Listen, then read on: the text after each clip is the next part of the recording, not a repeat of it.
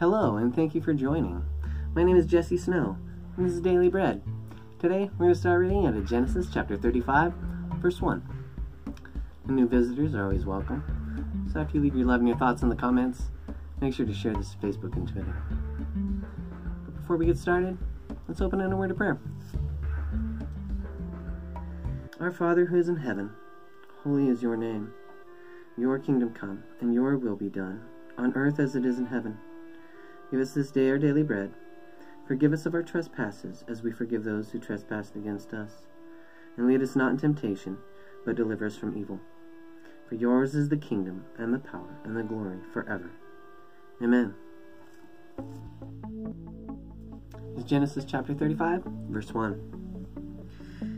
Then Moses, gathering all the congregation of the children of Israel together, and said to them, These are the words which the Lord has commanded you to do. Work shall be done for six days, but the seventh day shall be a holy day for you, a Sabbath of rest to the Lord. Whoever does any work on it shall be put to death. You shall kindle no fire throughout your dwellings on the Sabbath day. And Moses spoke to all the congregation of the children of Israel, saying, This is the thing which the Lord commanded, saying, Take from among you an offering to the Lord. Whoever is of willing heart, let him bring it as an offering to the Lord.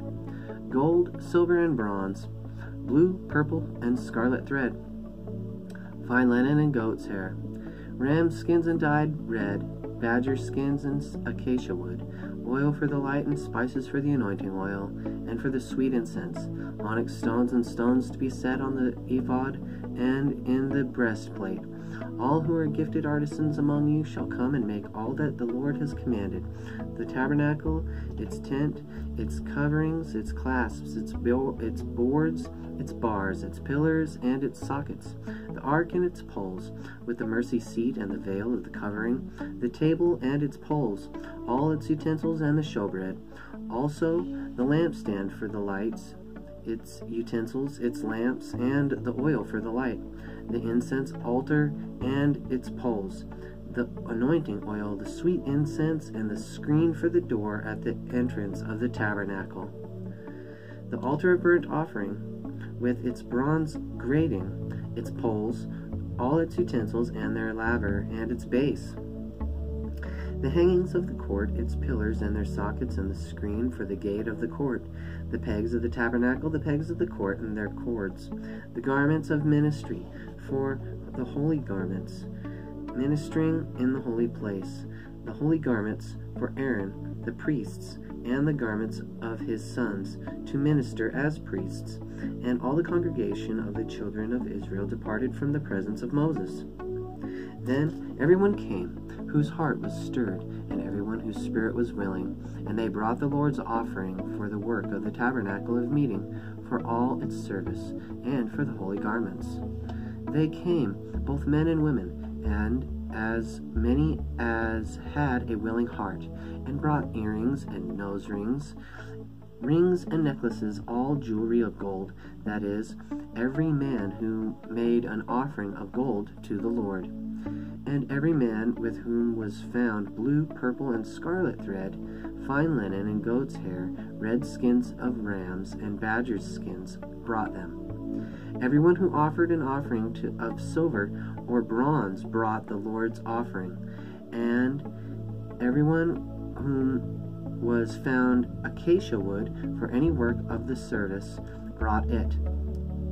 All the women who were gifted artisans spun yarn with their hands and brought what they had spun of blue, purple, and scarlet and fine linen. And all the women whose hearts stirred with wisdom Dumb spun yarn and goat's hair. The rulers brought onyx stones, and the stones to be set in the ephod and in the breastplate, the spices and the oil for the light, for the anointing oil, and for the sweet incense. The children of Israel brought a free will offering to the Lord, all the men and women whose hearts were willing to bring materials for all kinds of work which the Lord by hand of Moses, and had commanded to be done.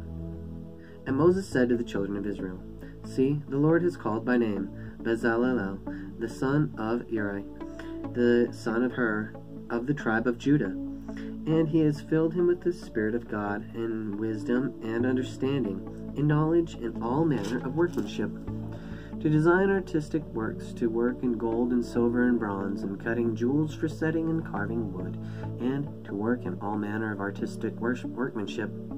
And he has put in his heart the ability to teach in him and Aholiab, the son of Ahisamach of the tribe of Dan. He has filled them with skill to do the manner of all manner of work of the engraver and the designer and the tapestry maker in blue, purple, and scarlet thread and fine linen, and of the weaver, those who do every work and those who design artistic works. I'm going to stop right there at Exodus chapter 36 today. I'd like to thank everybody again for joining. I really do hope you enjoyed reading along with me. If you did, you can hit that thumbs up button. You'd like to continue to read along with me, subscribe and hit the bell for notifications. Now, next time, we're going to start reading out of Exodus chapter 36. But before we go, let's close in a word of prayer. Father, Lord God, thank you for all that you do for us. Thank you for your bread. Thank you for your water. Lord, thank you for this temple that you built in us making us perfect. Father, we know that you can put anything you need in us to do any work, as long as we're willing and seeking to serve you, seeking to obey you. God, you are righteous and good. Thank you for your Son, Jesus Christ. In your name we pray. Amen.